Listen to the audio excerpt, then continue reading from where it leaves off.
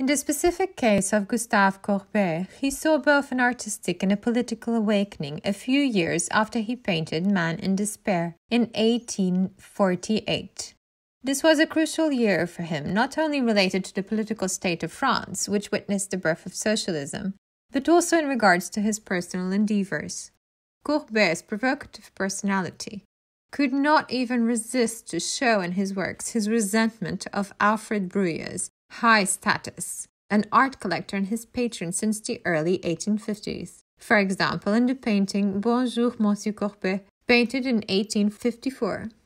Many of his iconic paintings actually present Courbet's strong opinions about French society and the political state of the country, reaching its peak with the notorious painting The Painter's Studio.